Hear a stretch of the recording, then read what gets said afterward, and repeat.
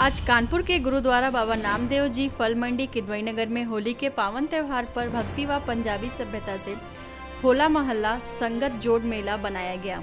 गुरुद्वारा दीवान hall में लखनऊ से आए गगनदीप सिंह ने गुरबानी शब्द कीर्तन द्वारा पुष्प वर्षा से गुरबानी का कीर्तन किया। कविकार मंजीत सिंह ने लोगों को वीर रस से भरी कविताओं से मंत्रमुग्ध कर दिया। दिल्ली से आई वैशाली ट्रिप द्वारा ढोल और भांगड़ा से दर्शकों को नाचने पर मज़बूत कर दिया गया।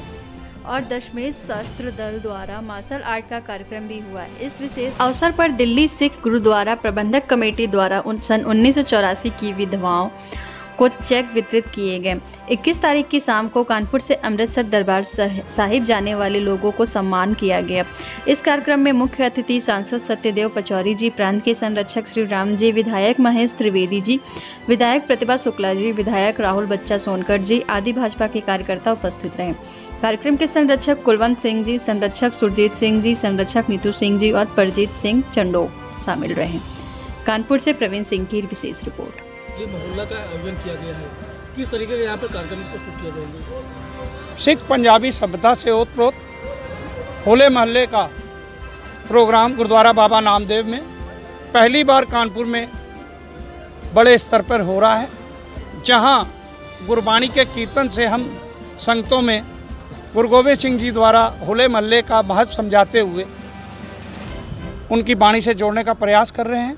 वैसे ही पंजाबी संस्कृत सभ्यता, सिखों की जो भांगड़ा, गिद्दा, कवि और विशेष जो गुरु गोविंद सिंह जी को प्रिय था, मार्शल आर्ट, गतका, जो कैसे अपनी रक्षा करनी है, सुरक्षा करनी है और किसी मजलूम पे अगर कोई आँच आ जाए या कोई बुरी नीयत से देखे तो उसकी कैसे मदद करनी है और युद्ध में कैसी आपकी ललकार हो बोले सो निहाल हो सत हो।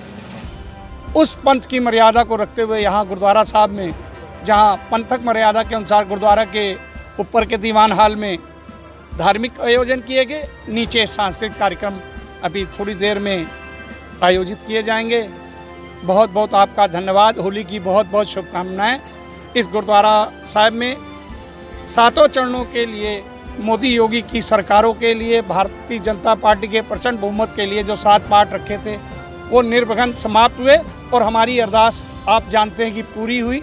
इस खुशी को भी आज हम भारतीय जनता पार्टी के कई विधायकों को, नामचीन चीज़ों को बुलाकर और उन कार्यकर्ताओं को जिनके बदौलत आज योगी मोदी मोदी पूरे शहर में हो रहा है, उनको बुला के सम्मानित करेंगे। सुरजीत सिंह ओबराय जी।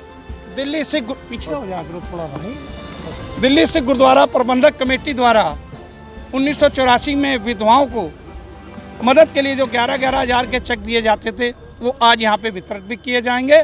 और हम लोग फिर पुनः मांग करने जा रहे हैं कि एसआईटी के दोषी उनको अगर 15 या 20 दिन के अंदर सरकार जेल नहीं भेजती है तो हमें मजबूरी भारतीय जनता पार्टी के वरिष्ठ पदाधिकारियों से मिलकर उत्तर प्रदेश के बारे में बताना पड़ेगा कि किसी तरीके से जब आपने एसआईटी शुरू करी, उसकी जांचें शुरू हुई की उसके लिए विशेष रूप से सुरजीत सिंह ओबराय जी मेहनत करके आज किसी मुकाम में पहुँचे तो उसको मिलना चाहिए, क्योंकि आप देश का माहौल समझ रहे हो, कोई कश्मीर फ़ाइल को रो रहा है, कोई गोधरा को रो रहा है कोई अयोध्या को रो रहा है हम किसको रो रहे हैं हम तो उन्नीस सौ चौरासी से बराबर रो रहे हैं। एक सौ सत्ताईस आदमियों के कातिल हमारे बीच में बैठे हैं।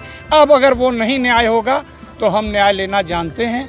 हमारी एक ज़िंदा खून जी। मांगो पूरा होता है। जी। वाहे ग्रुप पूरा करते हैं। जी। ऐसे में जो रूस और यूक्रेन का युद्ध हो रहा है लगातार हम मेरा महायुद्ध हो गया है। ऐसे में किस तरीके से आप लोग अरदास करेंगे देखिए ये एक आध्यात्मिक दृष्टि से देखो।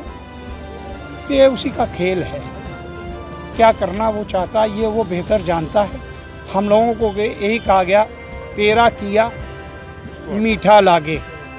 हम उस भाणे को स्वीकार करते हैं और ये तो जिसने गलत काम करने के लिए परमाणु या ये बनाए हैं हथियार तो इसका उपयोग हो तो होगा ही, चाहे उसके ऊपर हो, चाहे दुश्मन के ऊपर हो, चाहे अपने नीत पे हो।